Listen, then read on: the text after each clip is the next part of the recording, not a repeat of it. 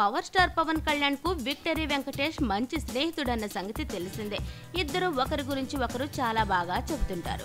ఇద్దరూ కలిసి గోపాల గోపాల సినిమాలోనూ నటించిన సంగతి తెలిసిందే. అయితే ఇప్పుడు ఆ ఇద్దరు మిత్రులు బాక్సాఫీస్ దగ్గర ప్రత్యర్థులుగా మారారు.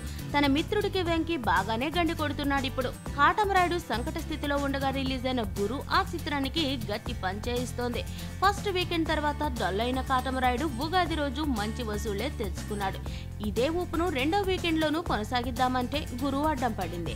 ఆ సినిమా వల్ల కాటమరాయుడు వసూళ్ళపై బాగా ప్రభావం పడింది.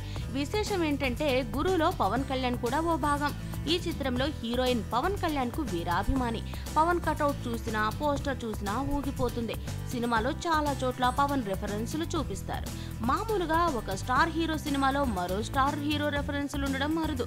కానీ వెంకీకి అలాంటి ఈగోస్ ఏమీ ఉండవు. పైగా ఆయనకు పవన్ మిత్రుడాయే. దీంతో పవన్ను బాగానే వాడేసుకున్నాడు సినిమాలో పవన్ రెఫరెన్సులు కనిపించినప్పుడల్లా థియేటర్లు హోరెత్తిపోతున్నాయి. మరోవైపు పవన్ సినిమా కాటమరాయుడు మాత్రం వెలవెలబోతుంది.